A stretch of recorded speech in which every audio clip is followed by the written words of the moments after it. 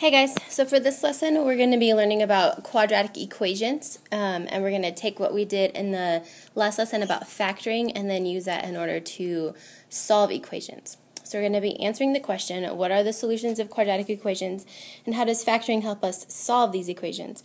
So we're going to solve by factoring and then also by graphing.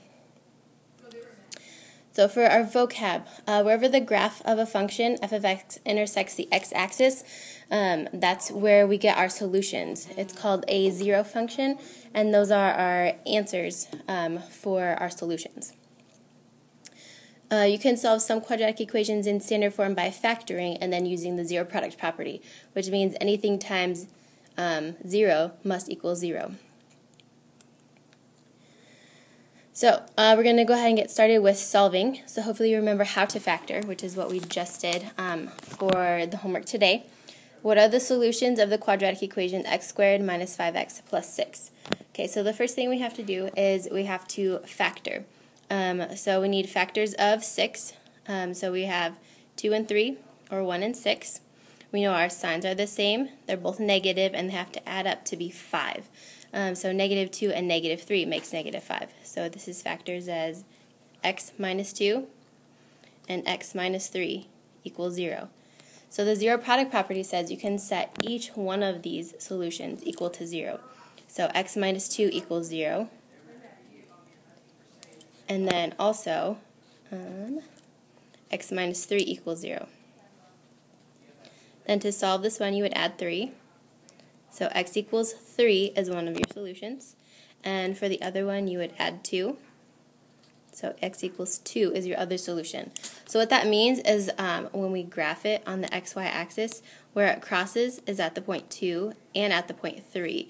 Um, and we know that it opens up, so it's going to look something like that.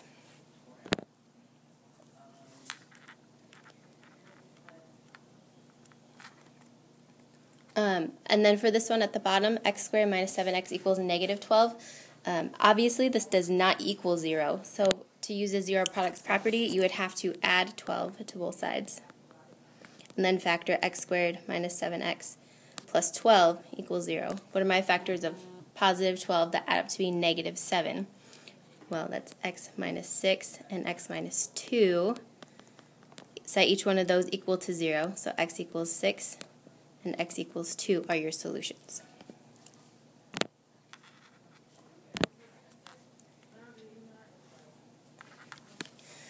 Um, you can also use the table features um, in your graphing calculator. Um, when you have something like this, always make it equal to 0 on one side because that's what you're going to put as your y equals. So we're going to go ahead and um, subtract 2 and add 2x to both sides. So you get 5x squared um, that's a plus 2. Plus 32x plus 12 equals 0. And then you can go ahead and make this 0 be your y1, and you can put this equation into your calculator.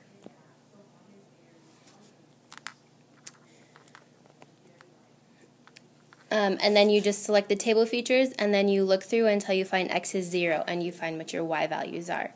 Um, so go ahead and plug that in, and then look through and see if you can find um, what your y values are when x is 0. Or when y is 0. x is negative 6. And the second one is in between 0 and 1, so you can change your intervals. And you do that by going to second window, that's your table set. Um, and it asks you that the first one is table start, that's um, where your values start. And then the second one is that little triangle table, change table. If you change it to put 0.1 in, then you can look and see um, as you get closer and closer. Um, so go ahead and try this one using your table feature. Um, this one is not as nice um, as just solving using um, factoring because it requires you to like go and look and see where your values change because not all our answers are nice answers. Okay, and then uh, also solving by graphing. In order to graph, it has to be in standard form, so you're going to subtract 15 from both sides. Okay, so now that we have this, we're going to put that into our y1 in your calculator, and then go ahead and graph it. So go ahead and do that and see what it looks like. All right, once you have that graph, um, once you go to the calc feature, so hit second calc, the second one down says zero. And if you click on that, it's going to ask you for um, a left bound and a right bound. So you're going to go along your x-axis um, and you're going to make the little blinky box thing be on the left side of where it crosses the x-axis and hit enter. And then go on the right side and hit enter again. And I get um, the one that's on the left is at negative 5, 0.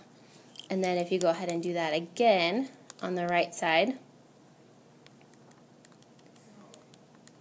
keep going, there we go. On the left side and then on the right side again of that x value, I get 1.50. Um, so negative 5 and 1.5 are my solutions. Okay, and then you can go ahead and try it with this one, see how that goes.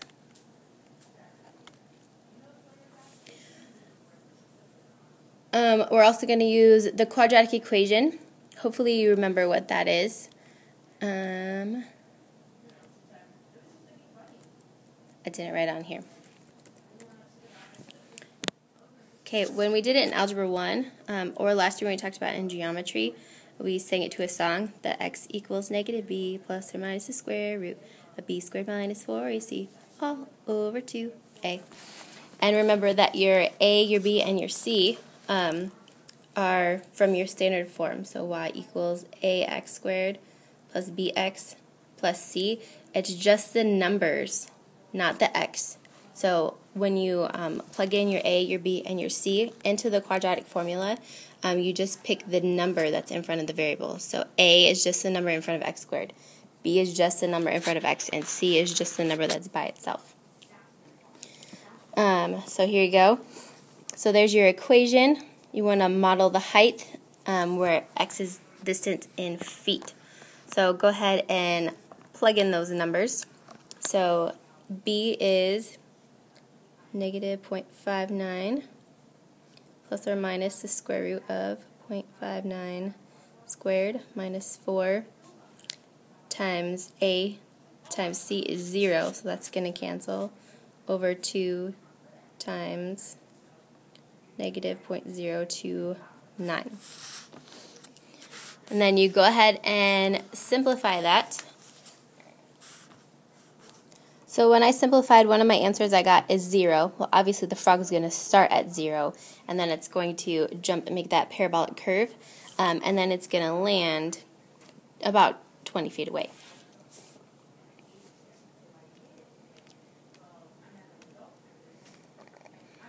All right.